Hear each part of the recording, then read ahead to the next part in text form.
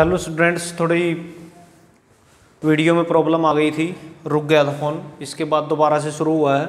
यहाँ मैंने पाँच शोषण के विरुद्ध अधिकार। शोषण के विरुद्ध। ये छह मौलिक अधिकार आते हैं। प्रत्येक नागरिक को छह के छह मौलिक अधिकार मिलते हैं। अगर प्रत्येक नागरिक को ये नहीं मिलते तो इसके खिलाफ कोर्ट का दरवाज़ा खटखटा सकते हैं, यानी कि कोर्ट में प्रत्येक नागरिक जा सकता है। छह मौलिक अधिकार दिए हैं। इसके बाद,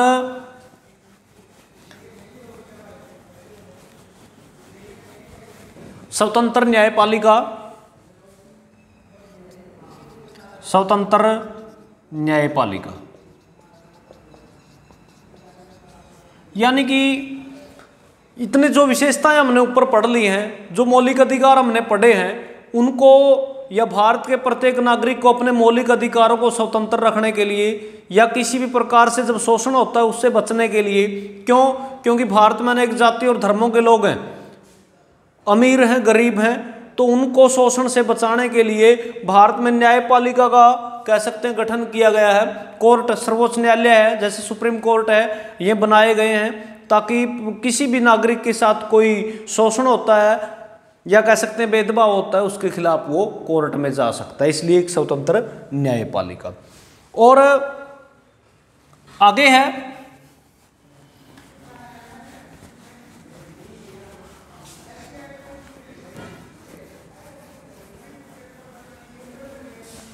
इसके बाद आता है, हमने लोकतंत्र तो देख लिया क्या है। वह जनता का जनता के लिए, जनता का शासन। ये तो हमने पढ़ लिया। वह लोकतंत्र क्या है? जनता का शासन। जनता अपने प्रतिनिधियों को चुनती है, वो प्रतिनिधि आगे सरकार चलाते हैं, कानून निर्माण करते हैं, अनेक उनके काम आगे बढ़ जाते हैं और उनकी शक्तियों का बंटवारा हो जाता है। आगे अनेक प्रकार की शक्तियों में उनके कामों को बांट दिया जाता है और जो सरकार को चलाते हैं। और लेकिन जनता का काम क्या है? एक अच्छी सरकार कायम करना, अच्छी सरकार मज़बूत करना। इसके बाद वह लोकतंत्र क्यों ज़रूरी है? लोकतंत्र क्यों? वह हमने शासन प्रणाली तो विश्व में अनेक प्रकार की हैं, लेकिन लोकतंत्र ही क्यों? फिर हम पिछले लेसन पर का ज़िक्र करते हैं कि वहाँ हमने Chile, Poland Chile, Poland Ghana, Nepal और भारत। इन देशों का पिछले लेसन में हमने ज़िक्र किया फ़र्स्ट लेसन में। वह इन देशों ने लोकतंत्र स्थापित करने के लिए किन किन कठिनाइयों का सामना करना पड़ा है? इनसे पहले, लोकतंत्र से पहले वहाँ कौन कौन सी सरकारें थी? या किस प्रकार की शासन व्यवस्था थी? लोगों ने किस प्रकार उस शासन व्यवस्था को उखाड़ के क्या स्थापित किया? लोकतंत्र। अगर लोकतंत्र में कह सकते हैं उन्होंने विश्वास जताया है तो अवश्य ही कुछ ना कुछ जो है, कह सकते हैं कि खूबियाँ होगी लोकतंत्र में। सबसे पहले यहाँ सम्मान, कह सकते हैं कि लोकतंत्र अपनाने के सबसे बड़ा कारण क्या था? अगर हम उन्हीं विशेषताओं पर ज़िक्र करें, पीछे हमने जो विशेषताएँ अपनाई हैं, अगर हम भारत का ज़िक्र करें वह भारत ने लोकतंत्र क्यों अपनाया? ताकि आने वाले समय में भारत को दोबारा से किसी बड़े देश का गुलाम ना होना पड़े।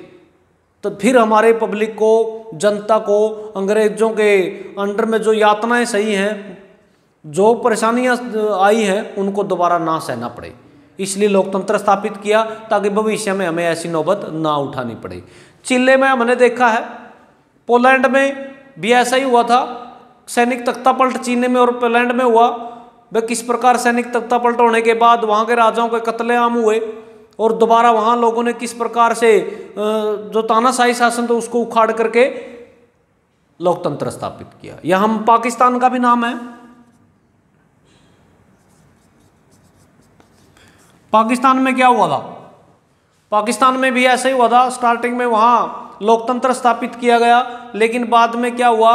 वहाँ तानाशाही शासन स्थापित हो गया। जनरल परवेज मुशरफ वहाँ तीनों सेनाओं का जनरल था।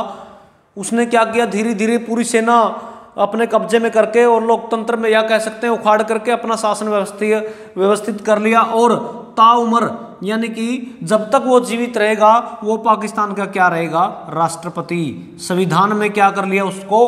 अपने आप को आजीवन राष्ट्रपति। जब तक वो जीवित रहेगा, तब तक पाकिस्तान का राष्ट्रपति रहेगा। संविधान में छेड़छाड़ करके, या कह सकते संविधान में चेंज कर दिए, बदलाव कर दिए, अपने आप को राष्ट्रपति घोषित कर लिया। लेकिन उसके बाद भी ऐसा टाइम आया कि वहाँ पर दोबारा लोकतंत्र स्थापित हुआ। आज वहाँ लोकतंत्र स्थापित है, चुनाव होते हैं टाइम पे। लेकिन ये हर, यानी कि नेपाल में भी ऐसा हुआ। लोकतंत्र स्थापित करने के लोगों ने किन किन कठिनाइयों का सामना करना पड़ा, बलिदान दिए।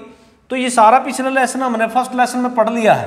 तो लोकतंत्र क्यों ज़रूरी है? आपको जब फ़र्स्ट लेसन पढ़ोगे तो पता चल जाएगा। अगर हम भारत पर नज़र दौड़ाएँ तो भारत में जो स्थिति आप लोकतंत्र की देखोगे तो अपने आप ही समझ में आ जाता है वह लोकतंत्र क्यों ज़रूरी है? दूसरे, क्यों ज़रूरी है? वह लोकतंत्र कई दोष दे देते हैं कि लोकतंत्र सारी चीज़ें स्थापित नहीं कर पाता। वह सारी चीज़ें वह हमारे देश में जैसे लोकतंत्र है, लेकिन हमारे भी यहाँ लड़ाई झगड़े होते हैं, या कह सकते हैं कि रैलियाँ होती हैं, या आंदोलन होते हैं वह लोकतंत्र में ऐसा क्यों? लेकिन हर मर्ज की दवा नहीं है लोकतंत्र। वह सारी चीज़ें, सारी समस्याएँ लोकतंत्र, सारी समस्याएँ लोकतंत्र खत्म नहीं कर सकता।